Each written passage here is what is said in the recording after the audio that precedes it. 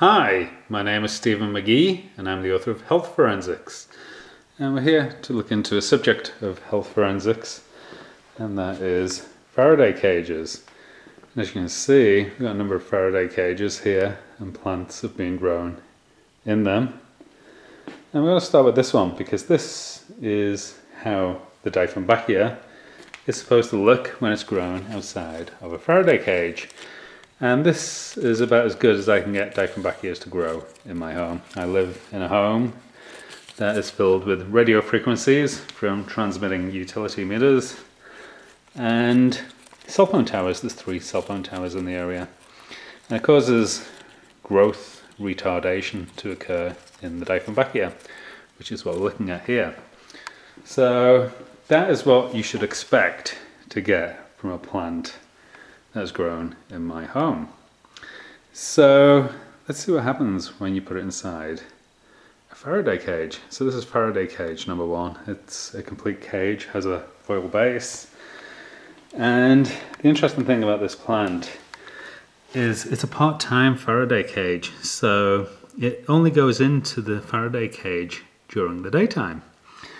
And this is what the growth looks like. So you can see it's very heavily retarded and deformed compared to our control Dieffenbachia, which is outside of the cage. Now, this one is a very different cage also because it's made out of chicken wire and has an open top to it. There's no wire on the top. And the rather curious thing about this is how deformed the plant goes when it's inside. And the reason why it's hooked up to a battery was I was trying to establish whether the cage collapsed the DC atmospheric voltage. And it appears that even hooked up to a 1.5 volt battery, which can improve plant growth, it did not improve. And the Faraday cage effect took over and deformed the plant. So even an open top cage with large mesh, this is the same size mesh as used in the walls of my home, deformed the Dieffenbachia. So this is our last Faraday cage plant and this is the full cage. So this is aluminum window mesh that you use for your window screens.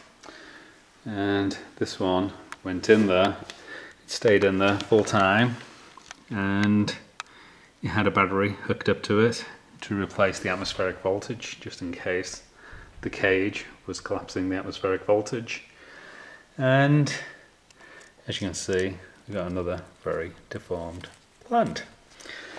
So I can't run this experiment any longer but based on my previous experiments with Faraday cages is after about a year or so in the cage, the plant will eventually die. So these, it's December 2015 right now.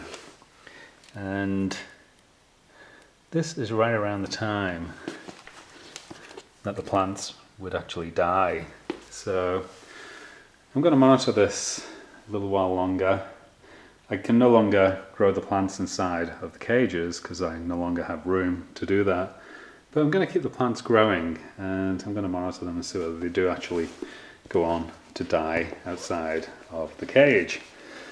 But the thing that I would like people to take from this experiment is that life inside a Faraday cage is very, very different to life that is outside of a Faraday cage. I hope that you enjoyed this presentation and I wish you the very best of health. Thank you.